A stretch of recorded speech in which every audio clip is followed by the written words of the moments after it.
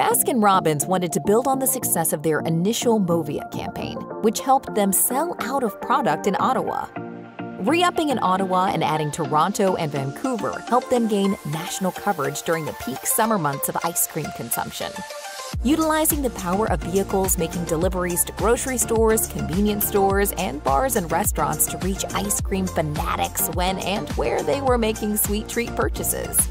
Taking the campaign to a new level, they deployed a creative switch halfway through the summer to keep things fresh and shine the spotlight on their delicious smoothie lineup. The mouth-watering creative had all three markets buzzing, and drivers had to keep an eye on their vehicles for people wanting to grab a couple of free samples while unattended.